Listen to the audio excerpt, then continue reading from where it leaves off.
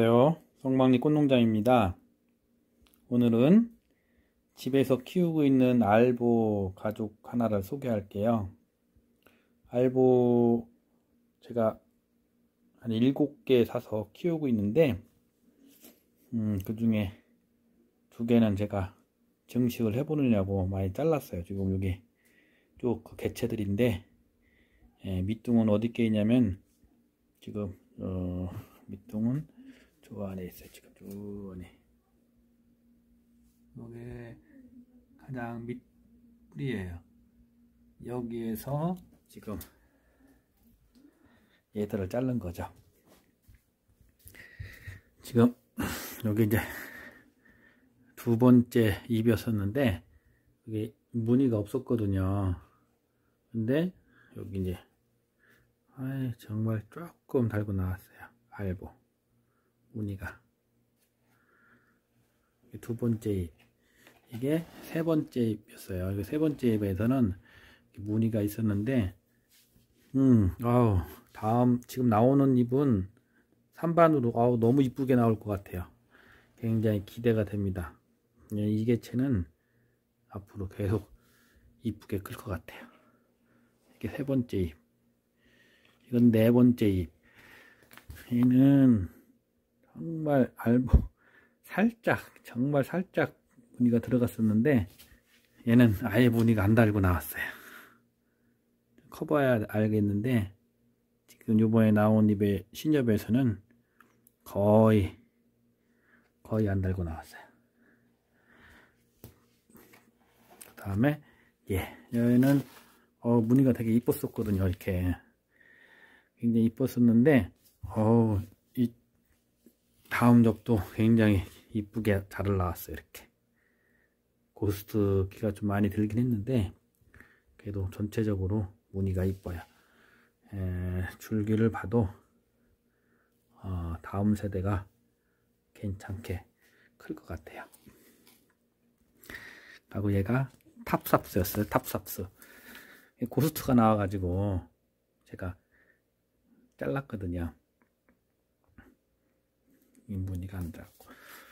그 다음 이게 탑삽수 물꽂이 해가지고 처음 받은 잎이에요. 어, 굉장히 구멍잎과 찐잎이 아니라 구멍잎까지 있어요 이게 구멍.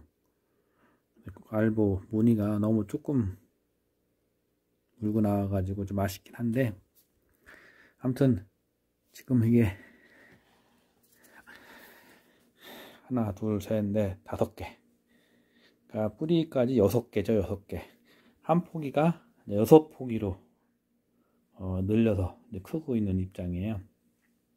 이거는 사실은 한 잎은 알보 무늬를 달고 나오고 한 잎은 무늬가 약하고 이렇게 지그재그로 올라오던 아이인데 막판에 이렇게 고스트가 나오는 바람에 제가 잘라가지고 증식을 해보게 된 거죠 요거 말고도 뭐 작은 거를 저희가 또 증식하고 있는 게 있는데 그건 다음에 한번 소개시키고 진짜 제가 이제 기대하고 있는 것들은 얘들이죠.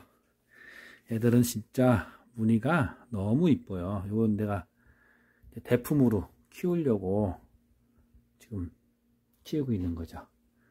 식물등 밑에 있다 보니까 키가 얼마 못 크고 있는데 이파리가 하나 둘셋넷 다섯 여섯 장 나왔어요. 6장. 7장 나왔네. 7장 나오는데 무늬가 너무 이뻐요. 저 안에 것도 마찬가지고 저쪽 안에 개체도 있고 이 개체도 마찬가지고 아 정말 무늬가 환상이에요 환상 그리고 세 개는 제가 좀 대품으로 키우려고 계획을 갖고 있는 올해 키우면 아마 1m 80은 클 것 같아요 내가 지금 보니까 성장세를 보니까 거의 한 달에 한 장 이파리가 나오는 것 같아요. 그리고 요거. 제가 이파리 하나 샀던 건데 이 폐에서는 사실 이게 알보 무늬가 좀 있었는데 아니 지금 신엽이 두 장이나 나왔는데도 이게 무늬가 너무 약한 거예요. 모르겠어 여기 좀 하나 또 올라오고 있는데 얘는 지금 음, 흰지분이 물고 나올 것 같아요 아무튼 이 알보를 키우다 보니까 아, 정말 복굴복굴이라는 그런 생각을 해봅니다. 어떻게 무늬가 발현될지를 모르겠어요. 아무튼 요 거는 좀 아쉽고 얘는 정말 정말 기대가 되는 개체예요. 아 이게 좀 어, 이게 무늬가 이게 제가 여러 개 키우고 있는데 이 여기 마디 이게 입이 크고 이렇게 크고 마디가 굵은 애들 이게 좀 굵거든요. 굵은 애들은 신엽이 나와도 이렇게 찐입으로 나와요. 근데 예, 입이 작고 마디가 작은 것들은 찐입이 안 되더라고. 이파리가 작게 나와요. 얘도 지금 마디가 굵거든요 이게가. 엄청 굵직한데 얘도 보면 지금 아직 다 전개는 안 됐는데 찐잎으로 나와요. 다른 걸 한번 보면은 굉장히 다른 게 있어요. 지금 요거 요것도 알부인데 여기. 근데 얘는 지금 문이 하나도 안 달고 나왔어요 어 이거고 찐잎도 아니에요 보니까. 작거든요 작은 개체인데 에, 작은 개체들은 줄기가 작으면 마디도 작게 나오더라고요. 여기서 자른 것들이 아유 깜깜하네 여기 식물등 켜놔야지. 아 식물등 켰는데 아유 밤이라 깔끔하게 나오진 않네요. 지금 얘들 여기 이제 신잎, 신엽이 나왔는데 찐잎은 아니거든요. 여기 지금 하나 둘 셋 넷 다섯 개 크고 있는데 예, 여기 이파리도 사실은 찐잎이 아니었던 작은 잎을 내가 잘라 가지고 증식을 해보는 건데 예, 입이 작고 어, 마디 줄기가 가는 애들은 이파리가 찐잎으로 안 나오더라고요. 찐잎으로 아무튼 이게 마디가 굵고 튼튼해야 튼튼해야 예, 찐잎으로 바로 다음에 나오는 잎도 이렇게 찐잎으로 나오는 것 같아요. 하고 이게 보니까 이파리 마디 이제 보면 큰 성체 있으면 성체 보고 얘기하면 좋은데 없네 성체가. 지그재그로 눈이 이게 트더라고요. 그러니까 첫 번째 입이 오른쪽에서 싹이 났으면 다음번 개체는 좌측에서 나오고 그 다음번 거는 우측 그 다음 건 좌측. 눈이 튀는 게 이 좌우가 이파리에 따라서 이 눈 트는 게 틀려요 눈자리. 그리고 눈자리가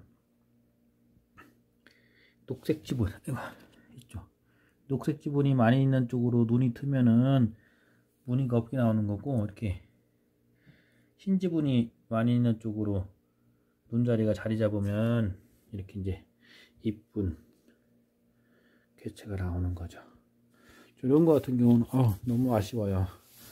보면 이게 눈자리 튼 데가 이렇게 거의 흰 지분이 없어요. 눈튼 데가. 그런 쪽에서 눈이 트면 이렇게 알보이긴 한데 안타깝죠. 응? 얘들 이렇게 보면은 오파이 걸렸네. 이쪽에서 눈이 텄으면 흰 지분이 있을 수도 있는데 반대쪽에서 눈자리를 잡다 보니까 여기 이제 선명하지 않네요.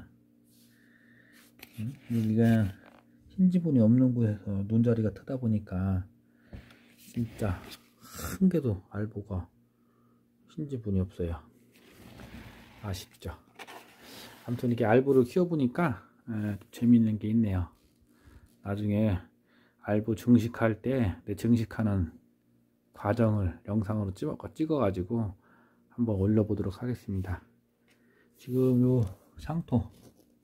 얘는 그냥 탑사푸스는 물꽂이에다가 뿌리 내린 다음에 거의 100% 원형 상토에다가 심은 거예요. 라고 알비료는 몇 개씩 주고. 지금 얘들 같은 경우는 에, 밀크, 어, 코코넛 그 야채 껍데기 같은 거 이런 것들 좀 거치는 그걸 섞어 갖고 상토하고 섞어서 놓은 거예요. 알비르는 조금씩 이렇게 줘요. 알비르는. 하고 아 이쁘다 이뻐. 알보. 다음에 알보 삽목하는 거는 한번 다시 한번 찍어서 올려보게 보도록 할게요.